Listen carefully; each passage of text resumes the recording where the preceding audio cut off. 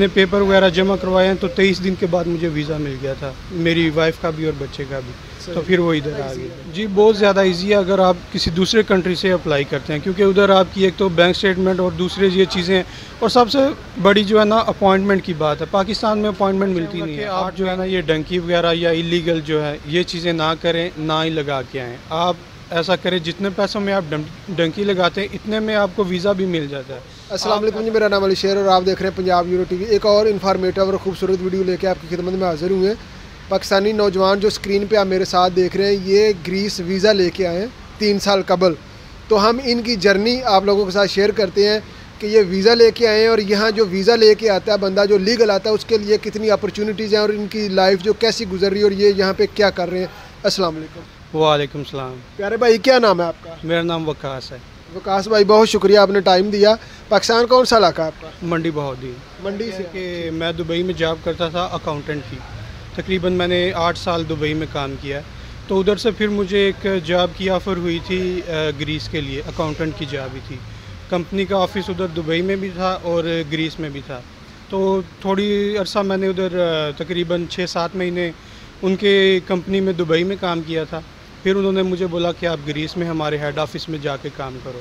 तो फिर उधर से ही मैंने वर्क परमिट उन्होंने मेरा भेजा, मैंने अप्लाई किया दुबई से और मैं फिर इधर आ गया। इधर तकरीबन मैंने दो साल काम किया और दो सालों में फिर मैंने अपनी फैमिली का वीज़ा भी अप्लाई किया, वो भी मुझे मिल गया था। अच्छा अब आप फैमिली के साथ माशाल्लाह यहाँ पे रह रहे हैं? जी जी फैमिली के साथ रह रहा हूँ। और टोटल आपको यहाँ आए तीन साल हुए हैं? जी तीन साल हुए हैं और फैमिली जो आए हुए तकरीबन एक साल और तीन चार महीने हो गए। यानी कि दो साल के अंदर अंदर फैमिली भी आ गई थी मैं भी इधर सेट था सारा कुछ। लेकिन ये कि कंपनी के बेस पे मुझे नहीं मिला मुझे अपनी बेस पे ही मिला है।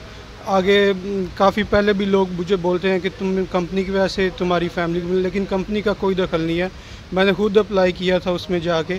सिर्फ़ एक वकील से इधर से एक पेपर बनवा के ले गया था कि ये मतलब ग्रीकी में उसने लिखा था कि ये मेरी वाइफ है और मैं इसको खर्चा वगैरह इसका मैं सारा मतलब बर्दाश्त करूँगा।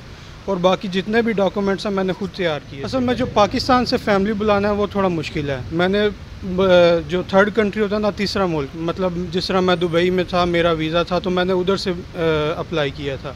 उधर से आपको बिल्कुल आसानी से वीज़ा मिल मिल जाता है और 21 से 23 दिन के अंदर अंदर मिल जाता है। लेकिन दुबई में अगर आप थर्ड कंट्री में जाते हैं, उनका रूल है कि वीज़ा आप तब अप्लाई कर सकते हैं, समझे ग्रीस का, अगर आपके पास उधर का रेजिडेंस वीज़ा हो। तो पहले अगर कोई दोस्त चाहता है कि दुबई से बुलाना या किसी और भी और कंट्री से पहले उधर का आपको रेजिडेंस वीज़ा लेना पड़ेगा फिर आपकी अकामा जिसे कहते हैं। अकामा बोल रहे हैं या कोई भी रेजिडेंस वैसे इंग्लिश में बोल रहे हैं। तो वो जो दुबई वाले वो तो अकामा ही देते हैं ना आपके पास। यानी वो अकामा होना चाहिए ठीक है? फिर उस बेस पे आप वीज़ा अप्लाई कर सकते तो ग्रीस एम्बेसी जो दुबई में है वहाँ आपका इंटरव्यू हुआ था? जी ऐसे ही है। उधर मेरा इंटरव्यू हुआ था मेरी वाइफ का ही हुआ था।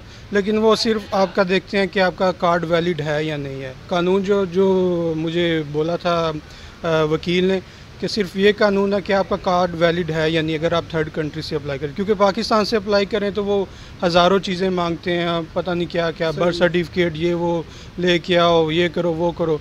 लेकिन दुबई में मैंने अप्लाई किया उन्होंने जो जो चीज़ वेबसाइट पर मौजूद थी उनकी मैंने सिर्फ़ वो मतलब चीज़ें दी हैं। तो पहली अटैम्प्ट में ही उन्होंने मुझे वीज़ा दे दिया था जो नेशनल वीज़ा था। अच्छा यहाँ पे आप क्या कर रहे हैं? यहाँ पे पहले मैंने तकरीबन दो साल अकाउंटेंट का काम किया था उसी कंपनी में। फिर थोड़ा कंपनी के साथ मेरा मसला हो गया तो फिर मैंने वो जॉब छोड़ दी थी। तो कुछ अर्सा फिर मैंने वोल्ट में भी काम किया इधर उसमें भी ठीक पैसे कमा लिए थे। तो अभी मैंने अपना एक छोटा सा ऑफ़िस बनाया है मोबाइल शॉप और ये एयर टिकट वगैरह और इस तरह की चीज़ें वीज़ा सर्विस वगैरह ये मैंने अभी स्टार्ट कर रहा हूँ अभी खोली नहीं है। सही। चलिए अल्लाह ताला आपको कामयाब करे। बहुत शुक्रिया। मेरे भाई आपने टाइम दिया।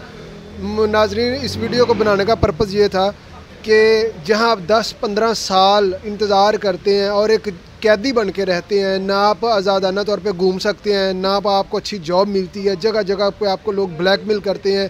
उसके बरक्स तीन साल कबल ये भाई आए हैं और इन्होंने अपनी फैमिली को भी यहाँ बुलाया है बाइज़ तरीके से ये रोज़गार कमा रहे हैं। तो ये डिफरेंस है कानूनी और गैर कानूनी आने वालों में।